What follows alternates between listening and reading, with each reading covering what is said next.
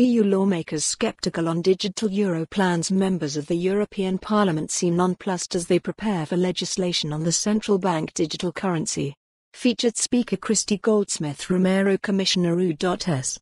Commodity Futures Trading Commission explore the policy fallout from the 2022 market crash, the advance of CBDCs and more. Secure your seat featured Speaker Christy Goldsmith Romero Commissioner U.S.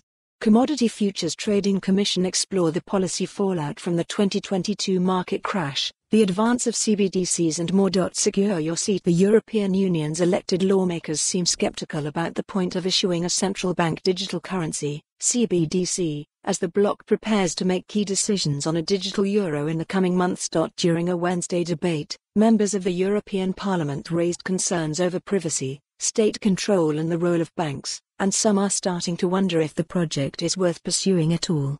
There's one central question which hasn't yet been credibly answered, which is what is the added value? What can I do with a digital euro that I can't do with current payment options?